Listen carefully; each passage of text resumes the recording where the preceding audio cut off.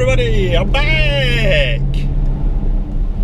We are in the lovely county of Norfolk and it is peeing it down with the rain.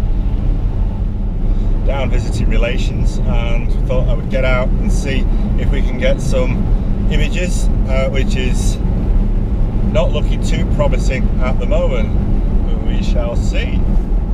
Now, as you may have gathered from my last video, I live in Yorkshire, so coming down to sunny Norfolk is a wee bit of a contrast, to say the least. It's flat. It's very flat. Flat. Norfolk's famous for its flatness. It's also famous for windmills, the Norfolk Broads and its desolate, deserted beaches. I must say, I'm partial to a windmill, but they're all up in North Norfolk, and I'm not in North Norfolk. I'm in South Norfolk, South East Norfolk. So I'm going to the beach. I'm going to Southwold. Last time I went to Southwold was 20 years ago. It was a stinking, boiling hot day and from what I remember it's a shingle pebble beach. So the light's flat. It's misty. It's raining. It's dull. And it's crying out for black and white. Maria. Ave Maria. So watching my last videos uh, with the critical eye uh, I think uh, technically they could be a little bit better sound quality uh, was not good. Uh, so we've invested in a muff. Just seen a really interesting uh, possible shot which often happens when you're driving somewhere else. Uh, some windmills with some mist at the base. Like that. I drove around and tried to get towards the windmills and it's in quite a build-up area. It's actually next to the uh, Bernard Matthews factory, um, and there's no real good vantage point for a, uh, a decent composition. So uh, we're on our way back to Southwold to try and make things a little bit more interesting, and also for me to have a little bit more fun. Um, we're going to take some aerial shots of the places that I go to uh, shoot my images. Uh, this is going to have uh, two benefits, or three actually. Number one, I'm going to enjoy it. Number two, um, I think it's going to make the videos a little bit more immersive uh, for you guys that are watching. And number three, if you do think of going to an area that I've taken pictures at, um, you'll get more of an idea of uh, possible composition and also the surrounding area that may give you a little bit more inspiration because I think uh, shooting uh, landscape photography is all about inspiration.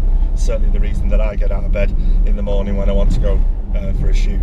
Now, did I mention that Norfolk's a wee bit flat? Well, it is, but it's also a beautiful county. Uh, and again, looking online, people say, "Oh, Norfolk, what's the point going there? Uh, it's flat. There's no opportunities for landscapes." Again, absolute bunkum. If you've got a camera and you've got an idea of what makes a good image, I think you can get a good landscape photograph anywhere other than the brick factory at Porthwell. If you watch one of my last videos, you'll know what I'm talking about there. Lots of pig farms. Lots of pig farms. We're going past a pig farm now. Norfolk seems to be famous for pigs. Again, always look out for opportunities when you're out. Picture might present itself. As everybody says, look behind you because what's in front of you might not be the best shot. Shut up! Now I grew up in the 80s.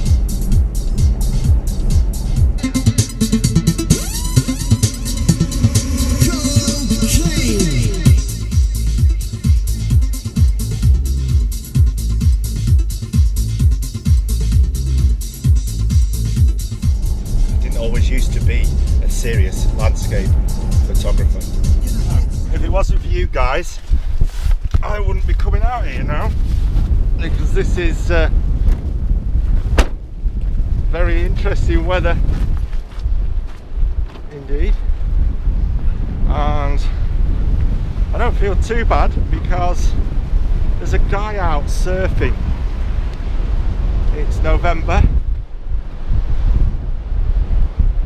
And I'm out here with my camera and he's out surfing. I don't know oh sugar, this is really, really slippy. Show you where we are. Oh, I tell you what, it's like ice and pretty interesting uh, landscape we've got because we've got driftwood we've got sand we've got rocks we've got haze and we've got cliffs well eroded sandbanks more like but it's looking more promising that's the pier so that's the pier over there that everybody takes pictures of. I'm not taking pictures of the pier today. I'm walking down here away from the pier.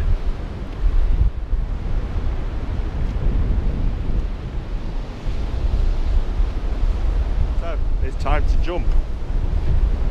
Look.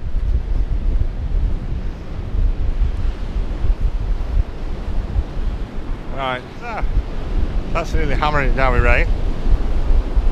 Uh, we're going to take a shot this direction. It's going to be the shot. I'm not going to show you setup. I'm going to set up, fire a few shots off, and then have a chat afterwards. And I don't know whether the tide's coming in or going out.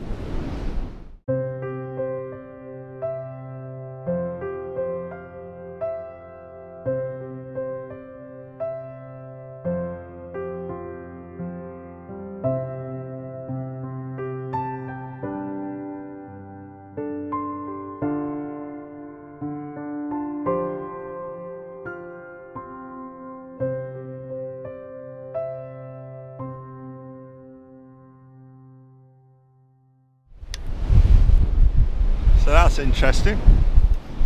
Uh, we'll put the shots in for you to have a look at. The weather is foul, horrendous, and it's toss up whether or not we even put this video in. Uh, this is what we're dealing with weather-wise. Top storm. I'd love to shoot that way. Well, we're just not going to get the shot because the uh, spray is coming directly into my face and we'll end up with another sea spray disaster or in this case rain disaster. Because uh, it's too windy and too nasty. But there's a right squall coming in.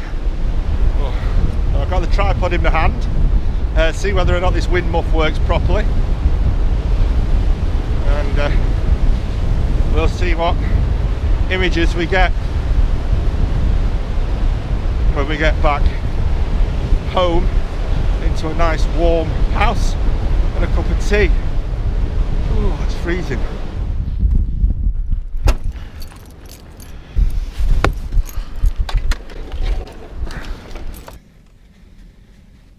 So we're back in the car. The first thing I'm going to do is dry the camera off.